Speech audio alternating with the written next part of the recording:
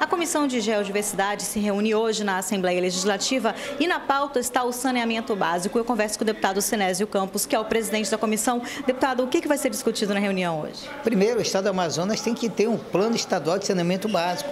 que vai desde a qualidade da água, que é destinada à população, que na verdade é o grande problema do aumento de doenças oriunda de, de má qualidade da água. Discutir dentre eles a questão é, dos sistemas autônomos de água que estão, são sendo administrados pelas prefeituras, como também a COSAMA, que também tem vários municípios sob seu poder. Eu entendo que o Estado, o governo do Estado, tem que se debruçar e acompanhar passo a passo, da mesma forma que nós já acompanhamos, por exemplo, a situação de Parintins, onde o povo lá está tomando água contaminada e não é somente lá do Alto Solimões, do Juruá, do Purus, do Madeira, todas as regiões é, do nosso estado têm esse problema da qualidade da água. Então, como presidente dessa comissão,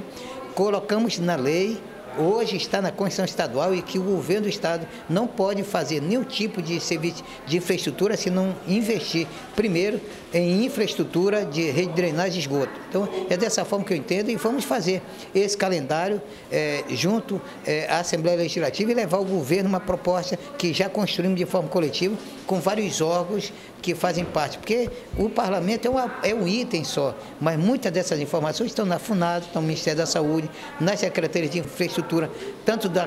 do Estado como também dos municípios, as secretarias de meio ambiente, ou seja, isso é algo que a gente constrói de forma coletiva e colegiada. Muito obrigada pelas informações, deputado Tereza Pinheiro, para a TV Assembleia.